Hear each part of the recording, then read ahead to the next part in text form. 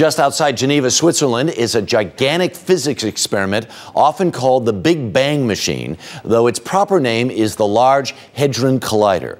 The multi billion dollar project was turned on a year ago, September. Nine days later, was heavily damaged after some problems. Now, after 14 months of repairs, it is back up and running, and it could could answer some of the biggest mysteries in science.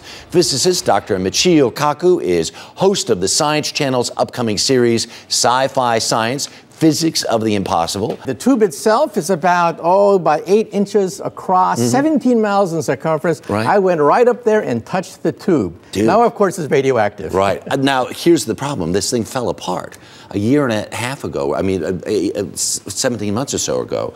And uh, some people said something was sent from the future to sabotage the machine because people in the future realized if this thing actually really, really works, it could recreate the Big Bang and we'd all get sucked into this black hole. Well, there are a lot of wacky theories out there, harebrained theories. Everyone's jumping and putting their own spin on it. Right, uh, so to speak. We're not going to be blown up from messengers from the future. Uh. Just realize that Mother Nature thinks of this as a pea shooter uh. compared to cosmic rays that hit us every single day. Right. Mother Nature has atom smashers out there more powerful than this pea shooter. All right, very good. Dr. Kaku, thank you very, very much. Really, really appreciate it.